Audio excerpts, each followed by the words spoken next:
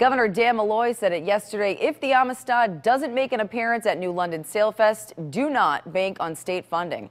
News 8's Josh Scheinblum is live from our Hartford newsroom. And Josh, I understand that the governor's advice was followed. That's right, Aaron. But when we talked to the director of the Amistad for what it took to make that request possible, we apparently touched on one subject she didn't want to talk about.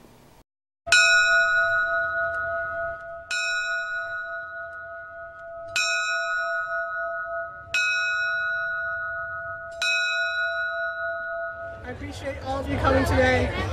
Um, enjoy the rest of Sailfest. At this year's Sailfest in Connecticut, there's more in the air than just the wind in flag draped boats.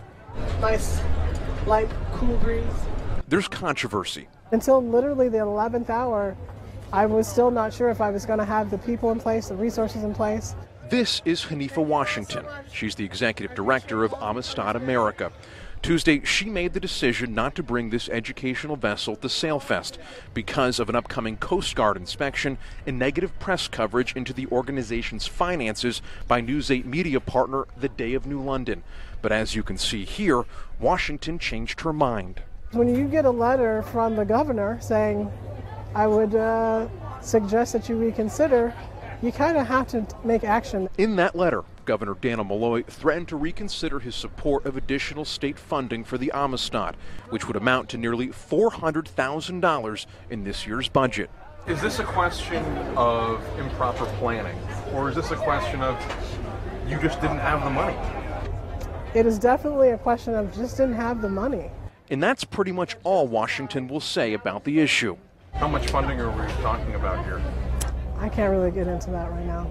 Even when she's asked again, ten thousand dollars, more than ten thousand. What are we? Give me, give me, give me a rough, rough frame. All I can really say is that without the people who stepped up, we wouldn't be here today.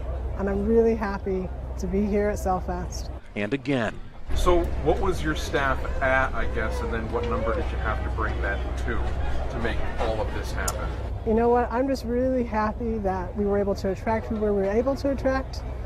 The people stepped up to get the vessel here. I'm not trying to give you a hard time, but that's not what I asked. I mean, how many? Well, you, you are have, giving me a hard time. Like I, I'm not going into that right now.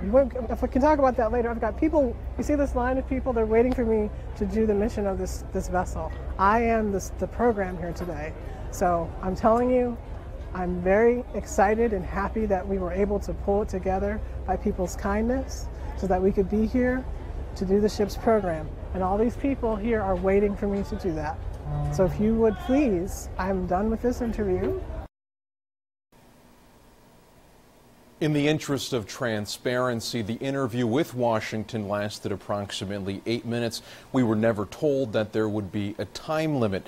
Now, we are learning more about how the Amistad was able to make its way to New London. We're told that it left the docks of New Haven at approximately 5 a.m. this morning. For now, we're live in the Hartford newsroom. Josh Scheinblum, News 8.